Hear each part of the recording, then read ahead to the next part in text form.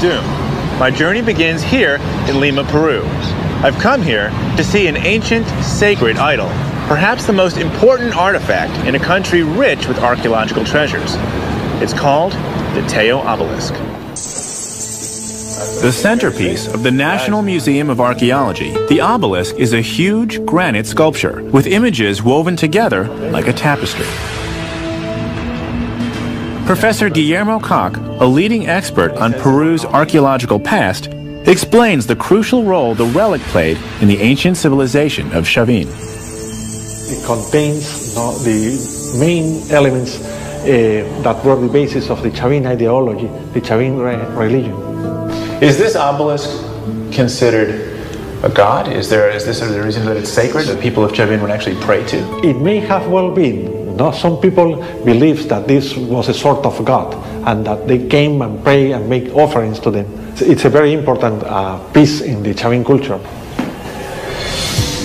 The first great Peruvian archaeologist, Julio C. Tello, discovered the artifact in the ruins of a massive temple complex 250 miles north of Lima.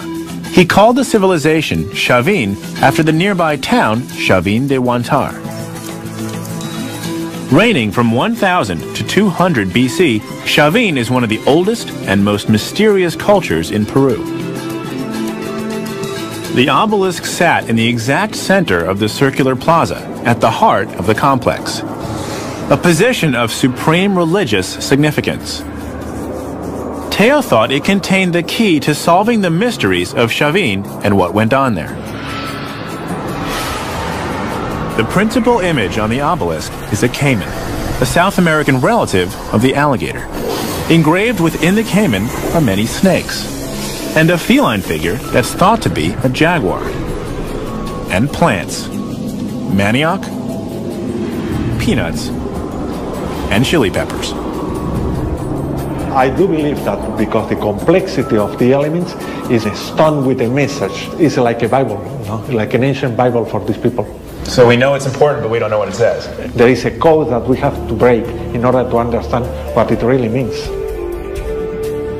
The strangest part of this code, according to Guillermo, is that the images on the obelisk don't come from the high Andes where it was found, but rather from the Amazon jungle.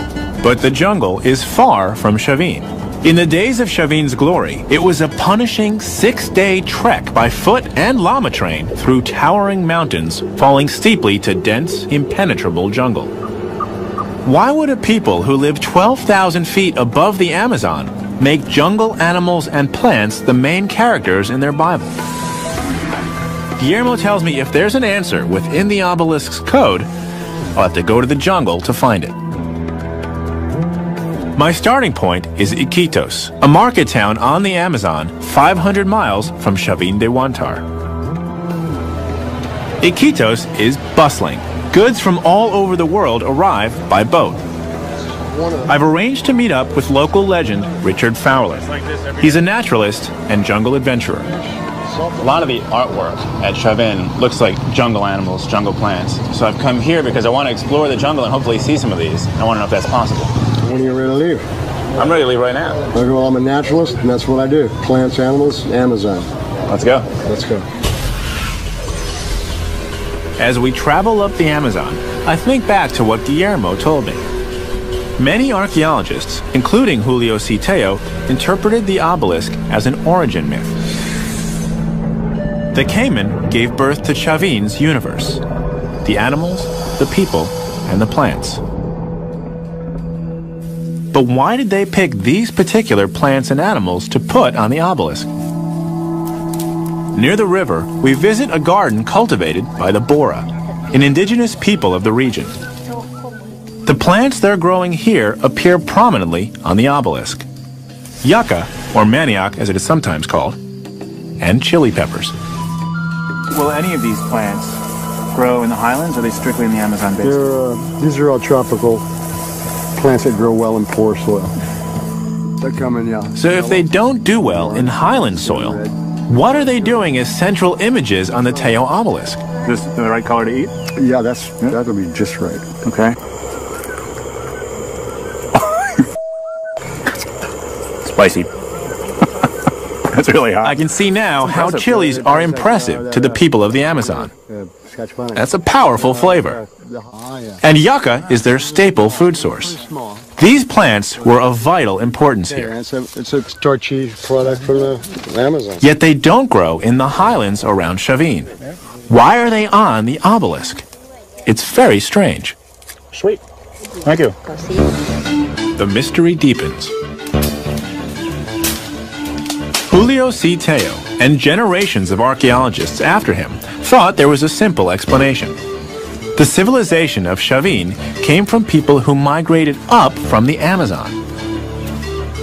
They brought with them the cultural memory of the things that were important to them in the jungle. Like the caiman, the central image on the obelisk. Richard is taking me to meet one. There's supposed to be about an eight footer in here, and that's the one I'd like to try to catch for you. Okay. There's a lot of small ones, so I'm sure we won't be a problem catching the small one, but we're going to try to catch that big one for you. This is how Richard has caught big caiman in the past. And he says there are some huge ones in this murky water. But so far, the ones I see are like something you'd buy at a pet store. There was one over there a minute ago.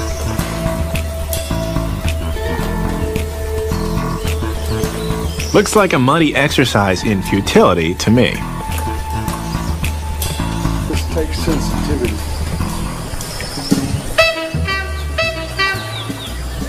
I don't see anything. Feel anything? Nice. So far, all Richard has found are some leaves, mud, and a lot of aggravation.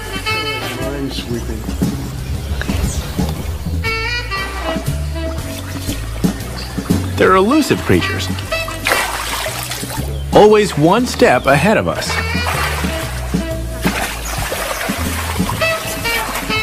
And then he gets one. Getting the big one, but But he seems a little small. Not much of a father figure. I got you a brown caiman, one of three species found here in Peru. Can I hold him? Yeah, yeah. Hold him. Hold him, please. What do I grab do? him by the head, firm, grab him firmly behind the, behind the head, Okay. and firmly at the base of the tail.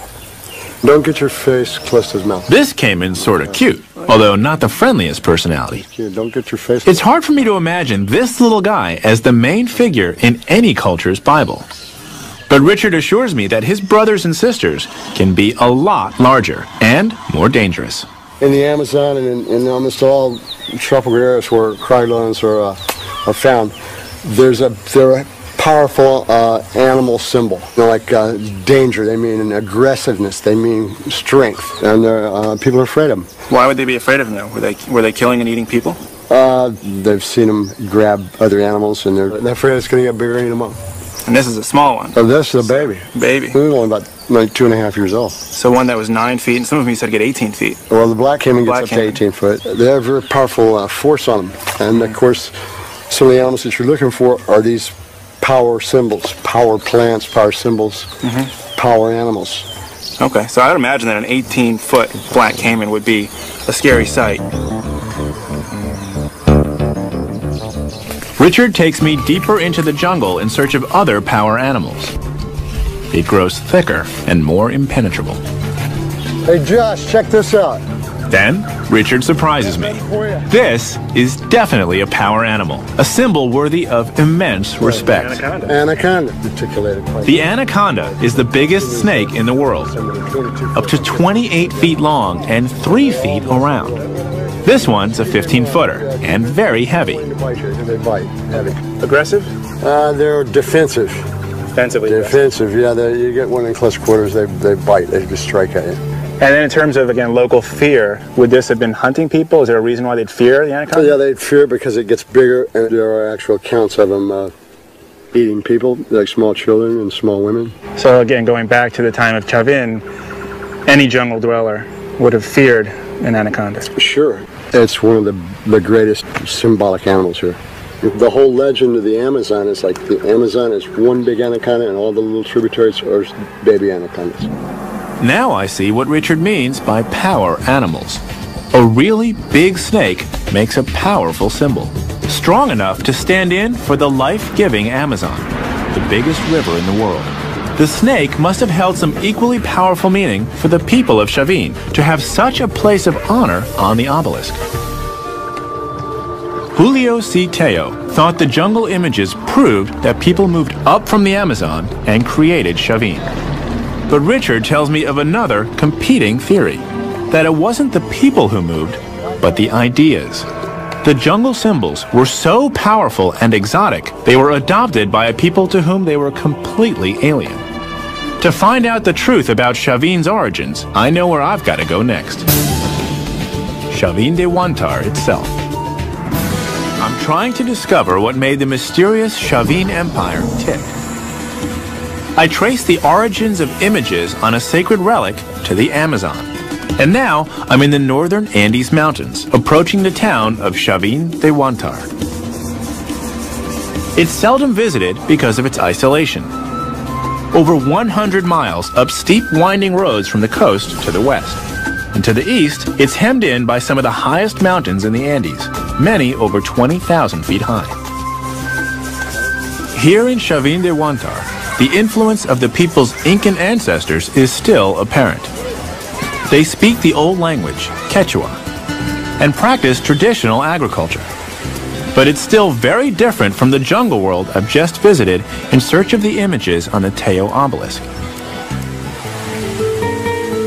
From the town, it's a short walk to the site.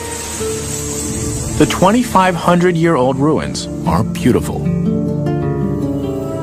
Centered around a sprawling temple made of massive stone blocks.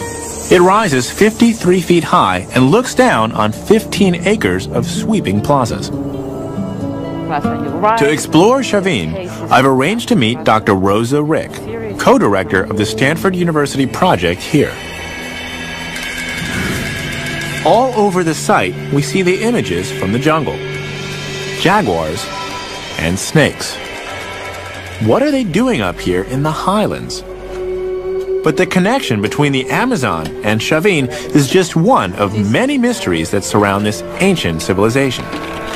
Chavin is complex and impressive, but I notice a strange absence. Rosa, I'm amazed at, at the beauty and the power, I mean, the wealth that was put into Chavin. Everything here, and yet what I don't see are fortifications. Did they have any here? No, Did they have a military? no. So how is it that they're able to like to protect all of these assets if they didn't have a military? That's a very good question. After years of excavation and research, the story is beginning to emerge, and it has to do with the special nature of Chavin itself. Chavin was a major ceremonial center. This is where population from all around the Andean area will converge. And how far would people travel to come here? Hundreds of uh, kilometers to get here. So this was a major pilgrimage site the way Jerusalem or Mecca may. That's right, it's a religious center. But what brought pilgrims to this inaccessible valley high in the mountains? Archaeologists speculate it was hypnotic mass rituals on the main plaza, with hundreds, maybe thousands of worshippers. The staging of the rituals was like a multimedia event. The priests had thought of every way to impress and amaze their followers. Traded from hundreds of miles away, special conch shells were blown like trumpets, and their music reverberated off the walls of the temple. Five years ago, the Stanford team found 20 of these instruments, beautifully decorated with carvings. But the power of the ceremonies came from more than just music and dance. Rosa takes me to the circular plaza at the top of the complex to explain a brilliant special effect created by the priests. According to Rosa, they harnessed a nearby river and diverted its water into canals throughout Chavin. This canal comes from up underneath the steps. It keeps flowing and it opens up to a series of canals that will go all to the ceremonial center. It's like a big speaker, loud sounds coming through the Wow, so sounds everywhere. roaring everywhere you sound. look.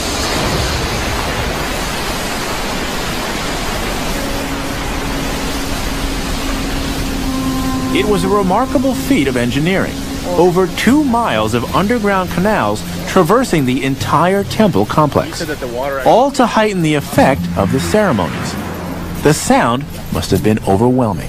That's incredible. So that this this whole space, I mean, with the temple behind us and the water rushing through underground and then coming back here, it's just this whole area was again a ceremonial center. This reinforces that something significant is going on here. That's it. This was why Chavin had no military. It was on sacred ground. It ruled by the power of its rituals. Its protected cult status shielded it from attack. Archaeologists have found offerings that were brought by devotees from as far away as the coast. The accumulated wealth supported a huge settlement for its time and place. Over 3,000 people. A thriving community of artisans served the needs of the priests. Chavin pottery, goldwork, and textiles have been found hundreds of miles away to the south and to the north. The Chavin style of intricate design and strong animal imagery dominated the entire region. It was a cultural empire in Peru for 800 years, ruling through the persuasive force of its ideas. And Rosa tells me the priests used a unique method to help maintain their dominance. You have a priest representation here. You can see the headdress with the snake designs. Look at the mouth with the fangs and the hands with the claws. And we observe that he's holding a San Pedro cactus. Rosa explains that when correctly prepared, San Pedro cactus is a potent hallucinogen.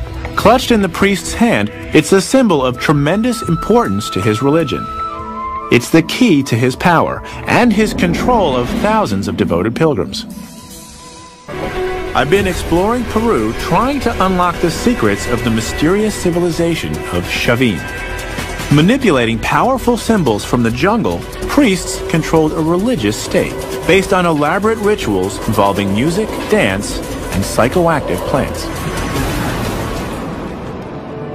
Christian, what's your specialty? Christian Messia, co-director of the Stanford project at Chavin, tells me more about the priest's use of hallucinogenic drugs 2,500 years ago. And the archaeological evidence is startling. Oh my God! Look at all this stuff. Sitting in a shed, protected from the weather, are many of the stone heads which once lined the temple complex. Yeah, there's one in particular I wanted to show you. Yeah. Yeah, which is this one. Uh, this one here, huh? Exactly. So what's so special about this one? Can you see that? Oh yeah, this Mm-hmm. That's mucus. mucus. Exactly. Okay. Wow, that's a bit weird. Why do they represent this person with mucus? Well, when you consume uh, psychoactive substances uh, through the nostrils, you get like mucus flowing. Ah. And they actually captured the mucus coming out of his nose mm-hmm. in stone. Exactly. So what role did these hallucinogens play in the society? Well, what I what we believe here in the project is that it was a very a really important part. It's so important that it was depicted on the facade on the main temple at the most sacred place in Chavin de Huantar. I've never seen anything quite like this collection of stone heads. So was this I asked Christian to show me where they were 2,500 years ago. Evidence, which is the tenon head, is the only Now, head. only one is left in its original position. It was part of the whole wall. It was inserted in those holes that we see along the wall. And this this tenon head, particular tenon head, is representing some form of transition between a human being and a jaguar. So this is yeah, half feline. I can see it. It's got the teeth in the mouth and the feline, mm-hmm. But I guess the head, the eyes are human. Yeah. Exactly. Okay, but what is it? Well, we assume that the divinity was living in another world. So in order to get to that world, you have to consume some sort of substances that will lead you, that put you in a state of mind that will lead you to that world in order to enter to that world. Actually, this represents the transformation from human to feline. Exactly. There And that was done through taking a substance, some sort of mm-hmm. hallucinogen. Mm-hmm. Wow. A society that surrounds its most holy center with sculptures of hallucinating jaguar people with mucus coming out of their noses is truly bizarre. regarding that subject. And Christian has more to show me. We have found just like two days ago this snuff tubes. You have to be very careful, extra careful. They're very delicate. Okay. That we found in a canal. Snuff tube. Yeah. Wow. This is a bone, yeah? Probably it's a bear bone. Dozens of these bone snuff tubes have been found in Chavin. Sometimes intricately carved, they were used to inhale powdered hallucinogens. Tiny mortars and pestles were used to grind up the psychoactive ingredients. Some were from the Amazon jungle, like the seeds of the yopo and the resin of the virola tree. What Rosa and Christian have shown me changes my perception of Chavin and its rituals completely. And the story becomes stranger and stranger. This is the saga of a cult built around hallucinogenic plants, the cult of Chavin. The ceremonies on the outside were just the beginning. From the circular plaza, Rosa takes me up enormous steps which created the thundering noise of water flowing through canals. Up until 2200 years ago, priests used the same stairway to lead a chosen few initiates into an actual Temple of Doom. And, of course, in every proper Temple of Doom, there has to be a terrifying idol hidden inside. Yes. The temple above ground is just an entranceway into this massive labyrinth. Huge stones were used to build over two miles of tunnels. Would there have been candles in this passageway? We don't have evidence of candles used at that time. Mm-hmm. There is no signs of the smoke on the walls. It's kind of eerie. I'm surprised by what Rosa just told me. I've been in tunnels like this in Mexico and in Egypt. But there was almost always evidence of the use of fire to light the way. How did they see where they were going without torches? They would have been in complete darkness. So is there any sense of what was going on in rooms like this or down here in the corridors? This may have been to uh, bring some of these initiated people and to break them down. So more of like the cult of Chavin. The initiates were down here in the darkness, being reprogrammed by the priest. That's right. For Rosa, it's a classic psychological technique.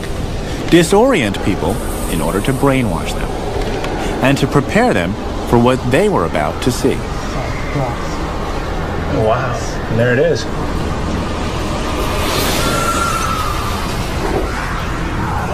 It is the supreme deity of Chavin, a god in stone, illuminated by a single beam of light from a tiny ventilation shaft.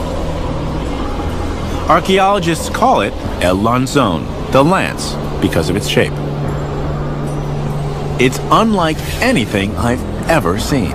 An intricately carved, massive face with its lips curled in a perpetual snarl. These initiates would come down this dark corridor. They're in altered states of mind due to some drugs. And they come in here and they're standing face to face with this really psychotic looking god. And This this is just this is a very powerful figure. Quite an experience. Overwhelming.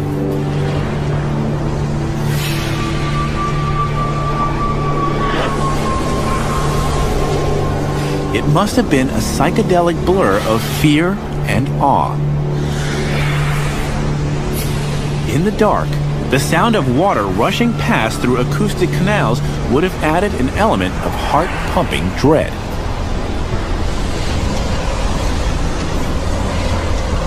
This sort of stormy sound. On top of everything that they're going through, they're hearing this thundering noise in front of this guy. That is one other reason for them to be fearsome of this figure. The god is talking to them. I can only imagine what they must have been experiencing. It all seems so bizarre.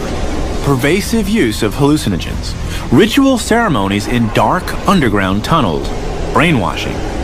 How would such techniques enable Chavin to become a cultural empire? Rosa tells me I may be able to see that for myself.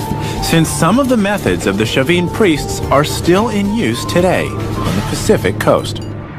Images carved into a sacred relic took me first to the Amazon jungle, then into the depths of a 2,500 year old temple of doom. I've learned that Chavin's existence depended on religious ceremonies fueled by a variety of mind altering botanicals. But how? My best lead at this point is a hallucinogenic plant called the San Pedro cactus. I travel 140 miles from Chavin to the old colonial city of Trujillo, near the Pacific Ocean. Trujillo is a bustling and prosperous city, seemingly very modern in everything but architecture.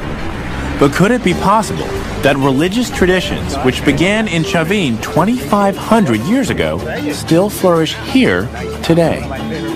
In the city square, I meet Doug Sharon from the University of California, Berkeley. ready, we can go meet a uh, curandera in the market. Doug is taking me to meet Julia Calderon. She's a curandera, a modern shaman. Some people know them as folk healers. Julia's father was a famous curandero, and she carries on the family tradition. She leads us into the main market of Trujillo, where people buy vegetables, clothes, electronic gear, and practically anything else. We come to a stand that specializes in goods for curanderos, like San Pedro cactus. But buying San Pedro is not simple. It's like a fine wine. It must be mature and come from a good region. So is this a good one or This is a good one, yeah. One with the scar tissue is one of the best ones because it's mature. Because it's firm. We end up with four cactus buds, but that's just the beginning. Ramillete de Leon. We also need perfume, lots of it, and special, strong tobacco. Tobacco from the jungle. Yeah, it's good, strong stuff to take that. Muy bien, vamos, yeah. Gracias. Adelante, comadre.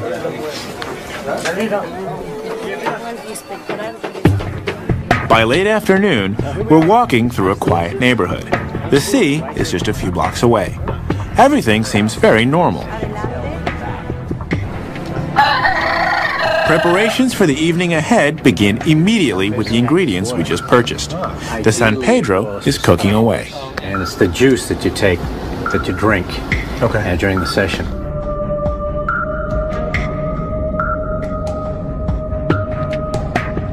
Julia sets up her mesa, a table which contains everything she'll need for the ceremony.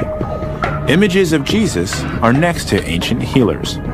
There's tobacco mixed with water, perfume, corn flour, and healing staffs, each with a special power to cure a particular ailment. And a magic circle with a six pointed star inside it, where the patient stands while being healed. This man believes he's been cursed. It upsets his balance, and he has difficulty staying upright and focused. The ceremony always takes place at night.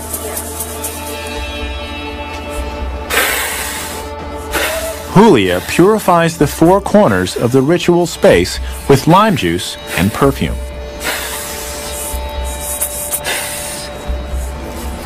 After cleansing the patient, she invokes the staffs, searching for the proper one. Then, it's time to drink the San Pedro. It's part of a group experience dedicated to healing. First, Julia. Then, her assistant. The patients. Doug.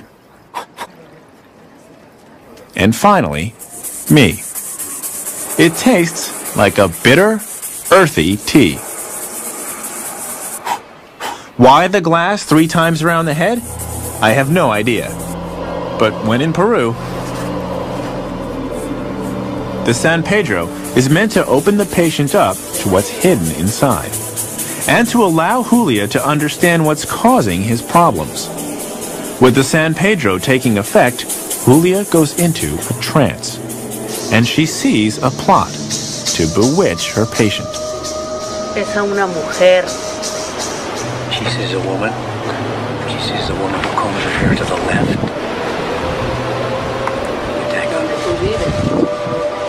She, he's very close to this leader, I think she said. Es una. There's also a man. Acá arriba, así como una moya. So most of the people who are coming here are coming not for necessarily physical ailments. No, The more not at spiritual. all. Spirit, not at all. Psychological. So this is a much more spiritual cleansing. Exactly. Julia's skill is treating ailments typically unacknowledged by Western medicine. Curses, charms, and negative energies. Julia has given the patient the proper staff to help restore his power and his balance in the world. She then prescribes a treatment. Mucho cuidado, ¿ya? Be very careful. Mucho cuidado. Tienes que ver nada, nada, nada. Don't accept ya te tienen food from anybody. Todo por venganza nomás. It's all for vengeance. They No did this to digas That's a very common type of curse here in the north. por tu enfermedad para tu familia.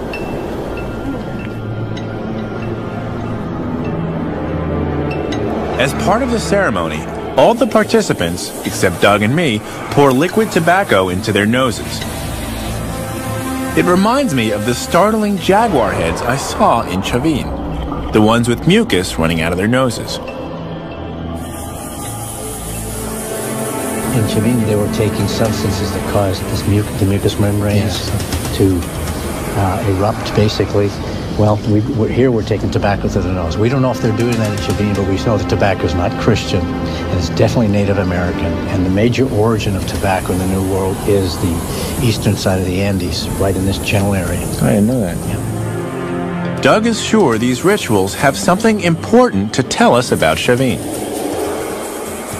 You look at these ceremonies here, and in spite of the persecution of the Inquisition and 500 years of colonial rule, these curanderos and curanderas had a great deal of prestige at grassroots level. People come from all over the place to come to these healers. I think that's evidence of the fact that there's a continuity around the San Pedro that goes right back to Chavin, and I think the reason Chavin was so successful as a cult center was because it was built on a grassroots tradition, just like this is today.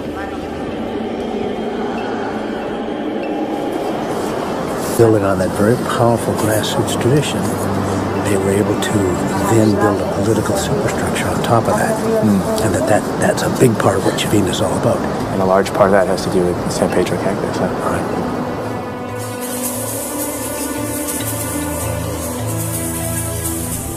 This evening, the persuasive power of these rituals has been made very clear to me. The same shamanic tradition that Julia uses for healing was exploited by the priests of Chavin to gain absolute political and social power. Participating in a religious ceremony under the guidance of a prominent anthropologist, I had a unique opportunity to experience something of what the initiates in Chavin experienced. About three hours or four hours after I drank that glass of San Pedro, uh, the effect reached its peak. I started to get very sensitive to light. I started seeing a halo on all the lights around me. And I was here back in my room, and I thought, well, what would it have been like for these people at Chavin to be feeling this way in the darkness? this is it's kind of weird, but here's what I did. Here's what I did: is I went into the bathroom here in my room and I turned out the lights because I was thinking at Chavin, so much of that world is based on darkness, and I put a towel under the door to block as much light as possible. And then thinking about El Lanzon and the thundering, resonating water chambers around it, I turned on the shower. And so now I had this water hitting the tub, making this noise, complete darkness. I could see, because my pupils were so dilated, I could see everything. I mean, everything in this room, despite there being almost no light. And it, it made me realize that relative to Chavin, their world of darkness was not one where they couldn't see. Under the effects of San Pedro, that whole underground world became visible. You could see everything. Now, I finally understand how the priests of Chavin could have an elaborate world of ritual in the dark. In 500 BC, the power of these mysterious, hallucinatory ceremonies was strong enough to control a spiritual empire without the use of a military. I've been decoding the symbols on a sacred relic to understand how the ancient Andean civilization of Chavin flourished for 800 years without a military, without city walls. In Chavin, I learned how the ruling priests conducted elaborate rituals, fueled by hallucinogenic drugs to control an entire culture. I participated in a modern day version of one of these ancient ceremonies and came away with a deeper understanding of the priest's power. But was Chavin's systematic use of mind control unique? To answer this question, I'm traveling 230 miles south to the little known site of Caral in the Supe Valley. Let's see. I meet up again with Guillermo Cock, who explains that Caral was discovered in 1905 when an archaeologist noticed huge mounds in the desert. Like Chavin, Caral has a circular plaza, but much, much larger. Caral is also a great deal older than Chavin. What's really exciting to think about is that at the time of the Great Pyramids of Egypt, this city was thriving. And what has archaeologists really excited is that it carbon dates to 2600 BC, 1600 years before Chavin. Caral is like Chavin in many ways. Like Chavin, this vast complex was an important ceremonial center. Caral appears to have no fortifications. Archaeologists have also discovered snuff tubes, clear signs of ritual use of hallucinogens, like that at Chavin. These similarities suggest that a culture like Caral might have spread to Chavin. But there's one big difference. Unlike Chavin, which is high in the mountains, the sea is only one day's walk from Caral. That gave Caral an economic resource that Chavin lacked. Fish. During the time of Caral, the Pacific Ocean here was teeming with fish. The Humboldt Current coming up from the bottom made these waters frigid and rich. This coastline has some of the greatest fishing in the world. The bountiful ocean, combined with improved fishing techniques like these reed boats, triggered a population boom. It led to the development of complex societies like Caral. These boats may be the technological innovation that fueled the rise of Peruvian civilization. It's gonna be my, my paddle. It's amazing Right, that see? fishermen today ah, still use the same techniques. Stand. I'm going to try it out myself. Tell ya. Pacific Ocean, wintertime, cold water. The boats are kind of like big kayaks, very maneuverable. Today, we're going out just to play around a bit. But the working fisherman would place his catch in the back of the boat and spend all day out on the water.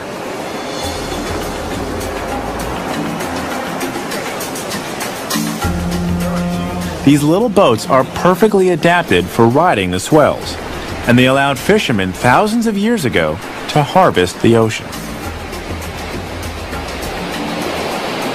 The real fun is getting back in. Instead of just going over a wave, you have to ride it. A great time. Gracias. Gracias. Buena suerte. Gracias. Whew, okay. All along the coast, there are fishing communities.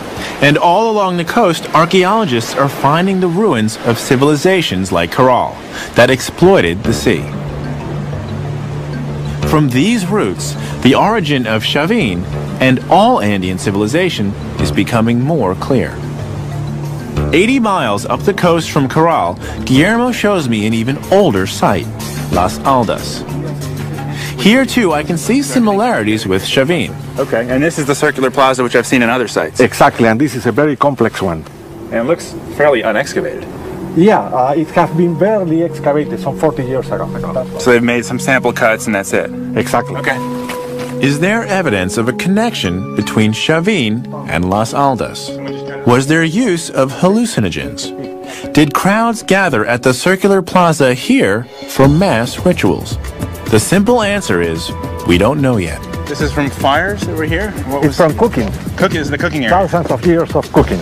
Things just waiting to be explored as an archaeologist. Doesn't that make you crazy? It makes my mouth watering. No? There's still so much to uncover here. Who knows what secrets lie buried under the sand?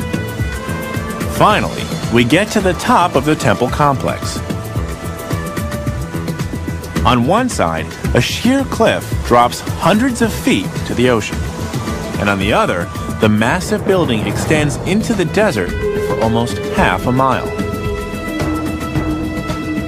To create a structure like this required a sophisticated civilization.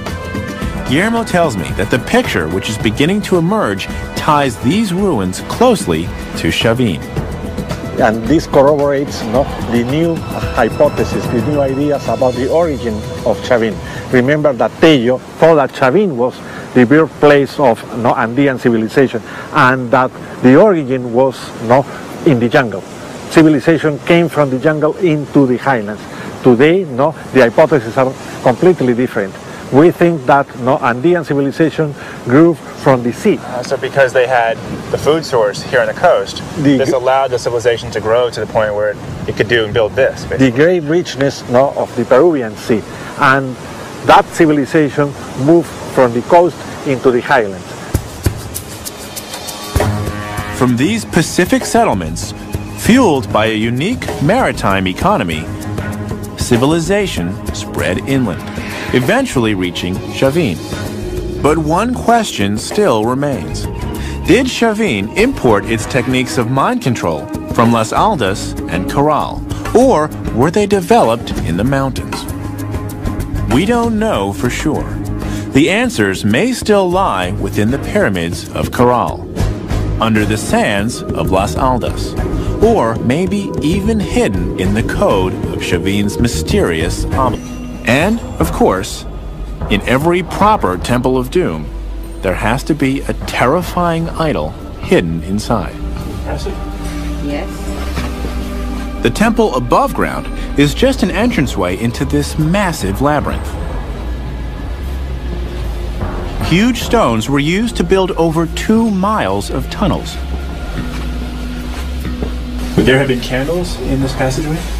We don't have evidence of candles used at that time. Mm-hmm. There is no signs of the smoke on the walls. It's kind of eerie. I'm surprised by what Rosa just told me. I've been in tunnels like this in Mexico and in Egypt. But there was almost always evidence of the use of fire to light the way. How did they see where they were going without torches? They would have been in complete darkness. So is there any sense of what was going on in rooms like this or down here in the corridors?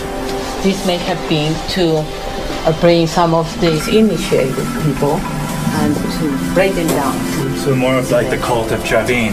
The initiates were down here in the darkness, being reprogrammed by the priest. That's right. For Rosa, it's a classic psychological technique. Disorient people in order to brainwash them and to prepare them for what they were about to see. Wow. And there it is.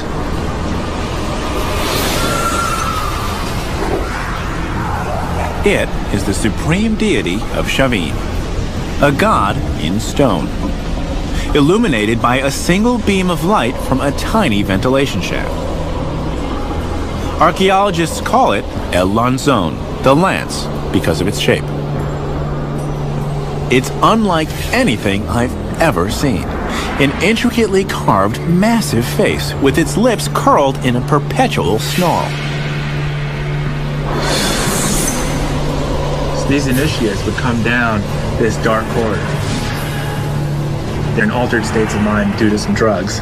And they come in here and they're standing face to face with this really psychotic looking god. This this is just this is a very powerful figure. Quite an experience. Overwhelming.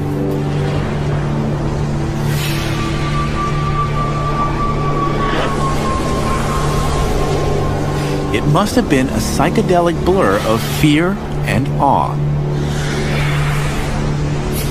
In the dark, the sound of water rushing past through acoustic canals would have added an element of heart pumping dread.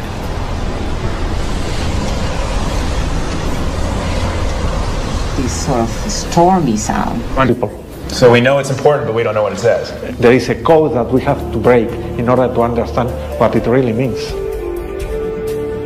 The strangest part of this code, according to Guillermo, is that the images on the obelisk don't come from the high Andes where it was found, but rather from the Amazon jungle. But the jungle is far from Chavin. In the days of Chavin's glory, it was a punishing six-day trek by foot and llama train through towering mountains, falling steeply to dense, impenetrable jungle. Why would a people who live 12,000 feet above the Amazon make jungle animals and plants the main characters in their Bible? Guillermo tells me if there's an answer within the obelisk's code, I'll have to go to the jungle to find it. My starting point is Iquitos, a market town on the Amazon, 500 miles from Chavin de Huantar. Iquitos is bustling. Goods from all over the world arrive by boat. I've arranged to meet up with local legend Richard Fowler. He's a naturalist and jungle adventurer. A lot of the artwork at Chavin looks like jungle animals, jungle plants. So I've come here because I want to explore the jungle and hopefully see some of these. I want to know if that's possible. When are you ready to leave? I'm ready to leave right now. Okay, well, I'm a naturalist, and that's what I do. Plants, animals, Amazon. Let's go. Let's go. As we travel up the Amazon, I think back to what Guillermo told me.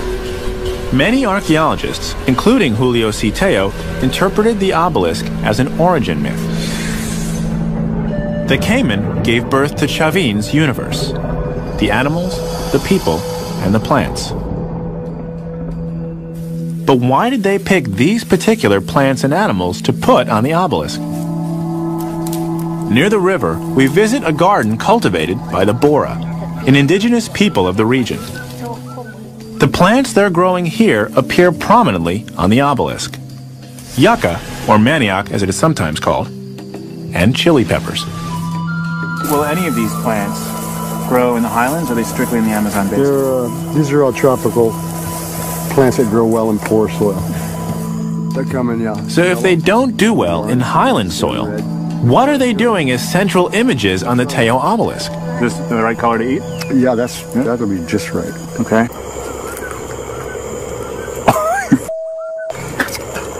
Spicy.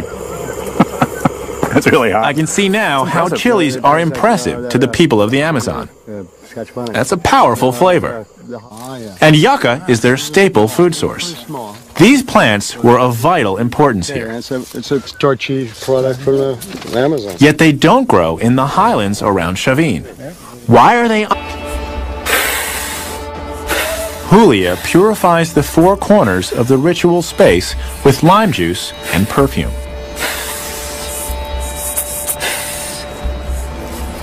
After cleansing the patient, she invokes the staffs, searching for the proper one. Then, it's time to drink the San Pedro. It's part of a group experience dedicated to healing. First, Julia. Then, her assistant. The patients, Doug, and finally, me. It tastes like a bitter, earthy tea. Why the glass three times around the head? I have no idea. But when in Peru, the San Pedro is meant to open the patient up to what's hidden inside and to allow Julia to understand what's causing his problems. With the San Pedro taking effect, Julia goes into a trance and she sees a plot to bewitch her patient. Es a una mujer. She sees a woman. She sees a woman who combs her hair to the left.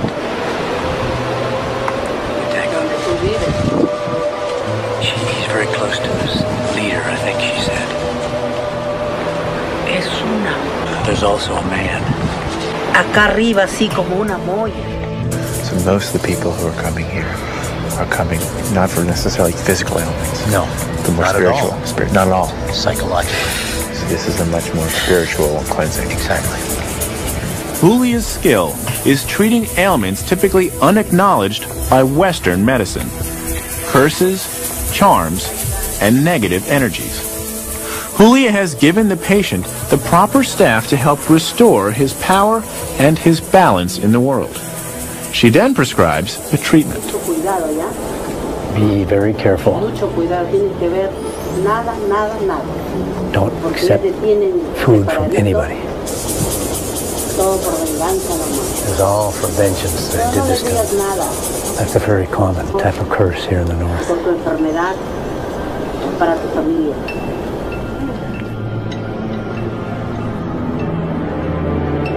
As part of the ceremony, all the participants, except Doug and me, pour liquid tobacco into their noses. It reminds me of the startling jaguar heads I saw in Chavin, the ones with mucus running out of their noses.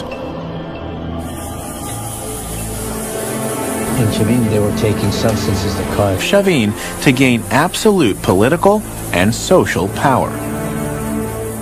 Participating in a religious ceremony under the guidance of a prominent anthropologist, I had a unique opportunity to experience something of what the initiates in Chavin experienced. About three hours or four hours after I drank that glass of San Pedro, uh, the effect reached its peak. I started to get very sensitive to light. I started seeing a halo on all the lights around me. And I was here back in my room, and I thought, well, what would it have been like for these people at Chavin to be feeling this way in the darkness? This is it's kind of weird, but here's what I. Here's what I did: is I went into the bathroom here in my room and I turned out the lights because I was thinking at Chavin, so much of that world is based on darkness. And I put a towel under the door to block as much light as possible. And then, thinking about El Lanzon and the thundering, resonating water chambers around it, I turned on a shower. And so now I had this water hitting the tub, making this noise, complete darkness. I could see, because my pupils were so dilated, I could see everything. I mean, everything in this room, despite there being almost no light. And it, it made me realize that relative to Chavin, their world of darkness was not one where they couldn't see. Under the effects of San Pedro, that whole underground world became visible. You could see everything. Now, I finally understand how the priests of Chavin could have an elaborate world of ritual in the dark. In 500 BC, the power of these mysterious, hallucinatory ceremonies was strong enough to control a spiritual empire without the use of a military. I've been decoding the symbols on a sacred relic to understand how the ancient Andean civilization of Chavin flourished for 800 years without a military, without city walls. In Chavin, I learned how the ruling priests conducted elaborate rituals, fueled by hallucinogenic drugs to control an entire culture. I participated in a modern day version of one of these ancient ceremonies and came away with a deeper understanding of the priest's power. But was Chavin's systematic use of mind control unique? To answer this question, I'm traveling 230 miles south to the little known site of Caral in the Supe Valley. Let's see. How far are we? I meet up again with Guillermo Cock, who explains that Caral was discovered in 1905 when an archaeologist noticed huge mounds in the desert. That's not that far. Like Chavin, It was part of the whole wall. It was inserted in those holes that we see along the wall. And this this channel head, particular channel head, is representing some form of transition between a human being and a jaguar. So this is, yeah, half feline. I can see it. It's got the teeth in the Mhm. mouth of the feline. But I guess the head, the eyes are human. Yeah. Exactly. Okay, but what is it? Well, we assume that the divinity was living in another world. So in order to get to that world, you have to consume some sort of substances that will lead you, that put you in a state of mind that will lead you to that world in order to enter to that world. Actually, this represents the transformation from human to feline. Exactly. there And that was done through taking a substance, some sort of Mhm. hallucinogen. Wow. a society that surrounds its most holy center with sculptures of hallucinating jaguar people with mucus coming out of their noses is truly bizarre. Regarding that subject, And Christian has more to show me. we have found just like two days ago these snuff tubes. You have to be very careful, extra careful. They're very delicate. Okay. That we found in a canal. Snuff tube. Yeah, Wow. This is a bone, yeah? probably it's a bear bone. Dozens of these bone snuff tubes have been found in Chavin. Sometimes intricately carved, they were used to inhale powdered hallucinogens.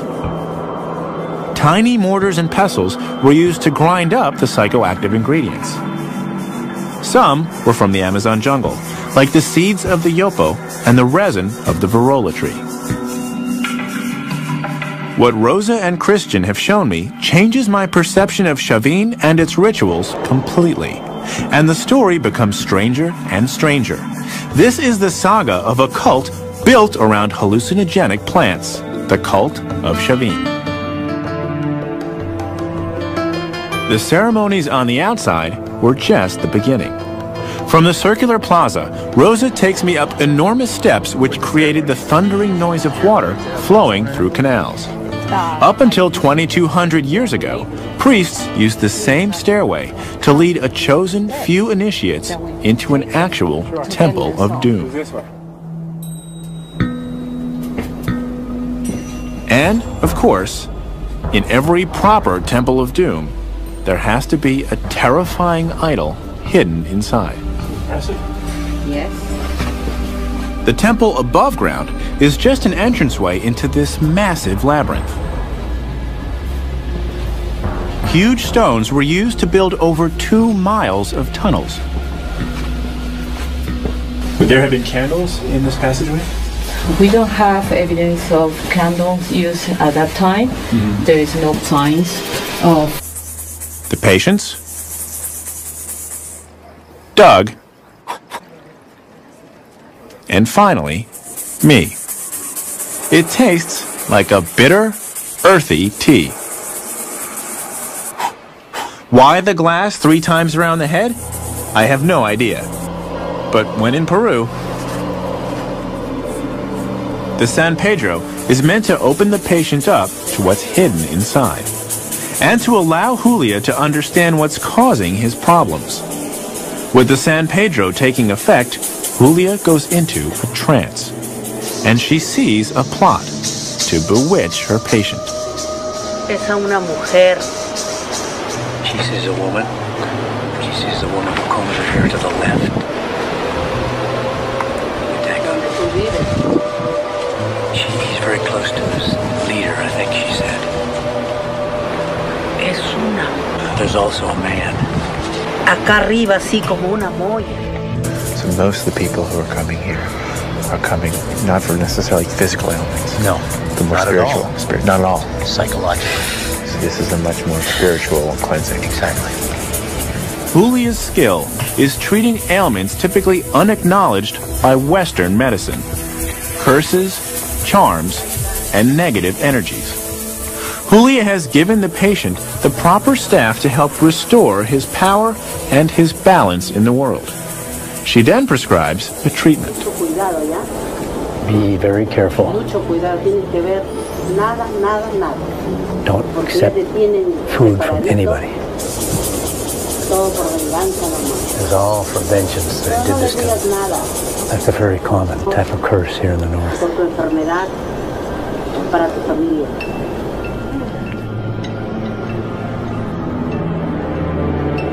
As part of the ceremony, all the participants, except Doug and me, pour liquid tobacco into their noses. It reminds me of the startling jaguar heads I saw in Chavin, the ones with mucus running out of their noses. In Chavin, they were taking substances that caused this mu- the mucous membranes to uh, erupt, basically. Well, we, we're, here we're taking tobacco to the nose. We don't know if they're doing that in Chavini, but we know that tobacco is not Christian, and it's definitely Native American. And the major origin of tobacco in the New World is the eastern side of the Andes, right in this general area. I didn't know that. Doug is sure these rituals have something important to tell us about Chavin. You look at these ceremonies here, and in spite of the persecution of the Inquisition and 500 years of colonial rule, these curanderos and The outside were just the beginning. From the circular plaza, Rosa takes me up enormous steps which created the thundering noise of water flowing through canals. Up until 2200 years ago, priests used the same stairway to lead a chosen few initiates into an actual Temple of Doom. And, of course, in every proper Temple of Doom, there has to be a terrifying idol hidden inside. Yes. The temple above ground is just an entranceway into this massive labyrinth. Huge stones were used to build over two miles of tunnels. Would there have been candles in this passageway? We don't have evidence of candles used at that time. Mm-hmm. There is no signs of the smoke on the walls. It's kind of eerie. I'm surprised by what Rosa just told me. I've been in tunnels like this in Mexico and in Egypt. But there was almost always evidence of the use of fire to light the way. How did they see where they were going without torches? They would have been in complete darkness. So is there any sense of what was going on in rooms like this or down here in the corridors? This may have been to uh, bring some of these initiated people and to break them down. So more of like the cult of Chavin. The initiates were down here in the darkness, being reprogrammed by the priest. That's right. For Rosa, it's a classic psychological technique. Disorient people in order to brainwash them and to prepare them for what they were about to see. Wow. And there it is.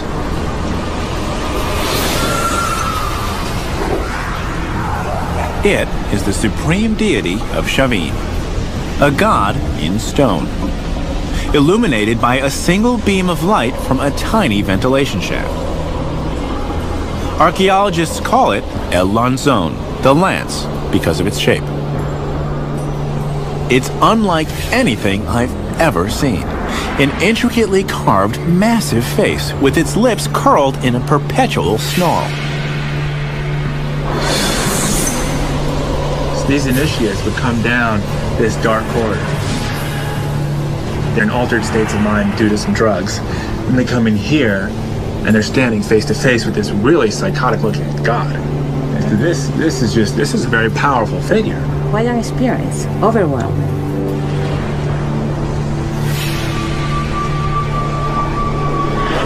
Chavin to have such a place of honor on the obelisk. Julio C. Tello thought the jungle images proved that people moved up from the Amazon and created Chavin. But Richard tells me of another competing theory that it wasn't the people who moved, but the ideas. The jungle symbols were so powerful and exotic, they were adopted by a people to whom they were completely alien. To find out the truth about Chavin's origins, I know where I've got to go next. Chavin de Huantar itself. I'm trying to discover what made the mysterious Chavin Empire tick. I trace the origins of images on a sacred relic to the Amazon. And now I'm in the northern Andes Mountains, approaching the town of Chavin de Huantar. It's seldom visited because of its isolation. Over 100 miles up steep winding roads from the coast to the west. And to the east, it's hemmed in by some of the highest mountains in the Andes, many over 20,000 feet high.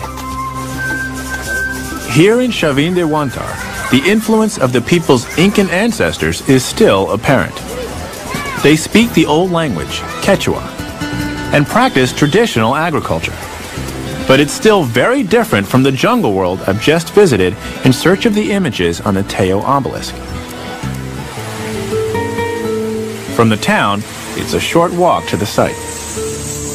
The 2,500 year old ruins are beautiful. Centered around a sprawling temple made of massive stone blocks. It rises 53 feet high and looks down on 15 acres of sweeping plazas. To explore Chavin, I've arranged to meet Dr. Rosa Rick, co-director of the Stanford University project here. All over the site, we see the images from the jungle. Jaguars and snakes. What are they doing up here in the highlands?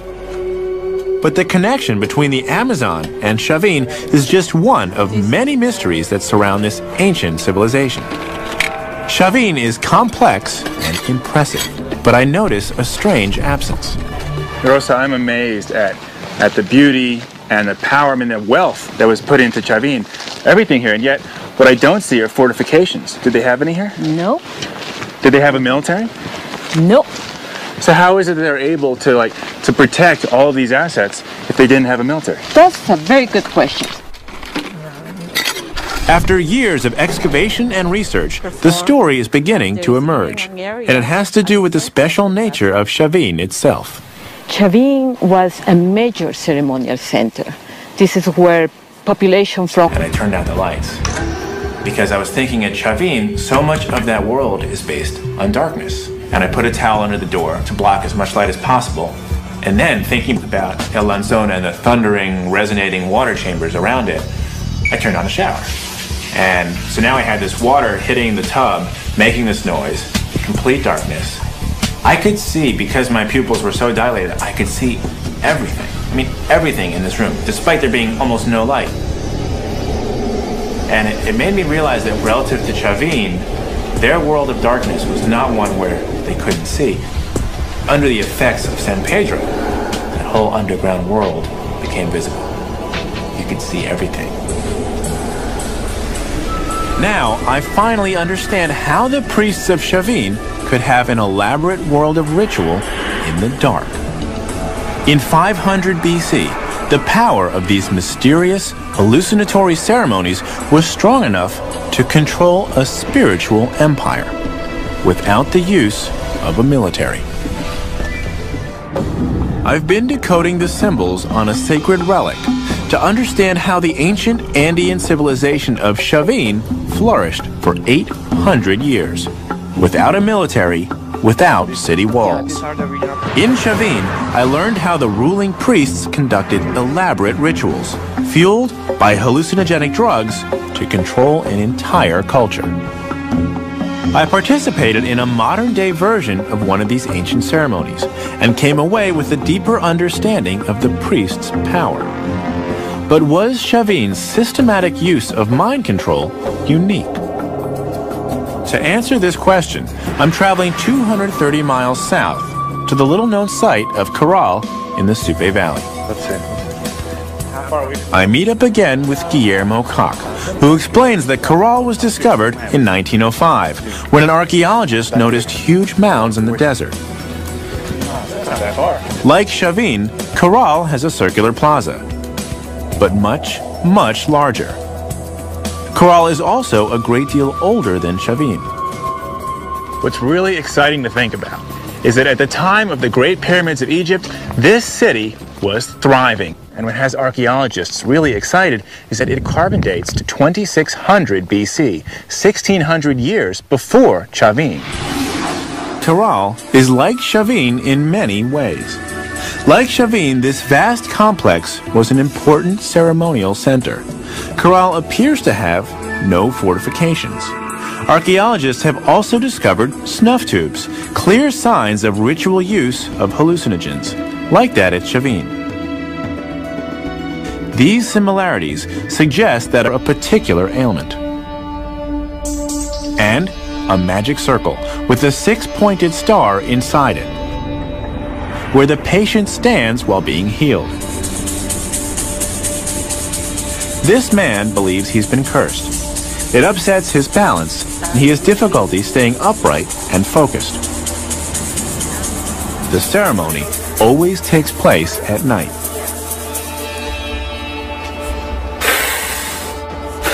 Julia purifies the four corners of the ritual space with lime juice and perfume.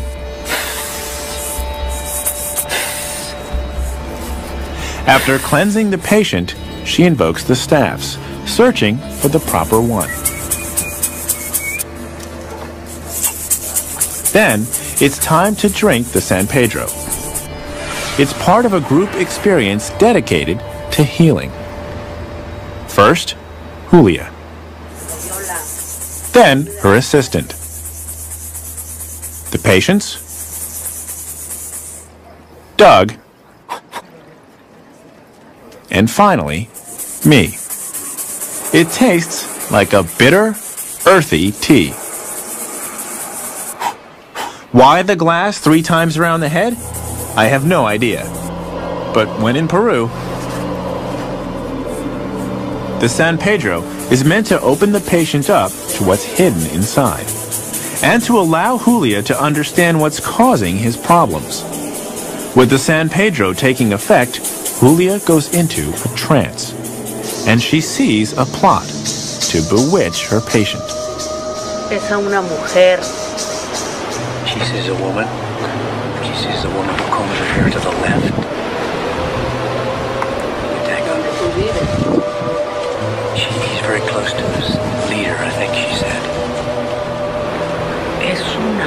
There's also a man.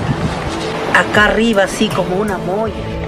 So most of the people who are coming here are coming not for necessarily physical ailments. No, The more not spiritual. at all. Spirit, not at all. Psychological. So this is a much more spiritual cleansing. Exactly. Julia's skill is treating ailments typically unacknowledged by Western medicine. Curses, charms, and negative energies. Julia has given the patient the proper staff to help restore his power and his balance in the world. She then prescribes the treatment. Mucho cuidado, ¿ya? Be very careful. Mucho cuidado. Tienes que ver nada, nada, nada. Don't accept food from anybody. Todo por. It's all for vengeance that did this to digas them. nada That's a very common type of curse here in the north. por tu enfermedad.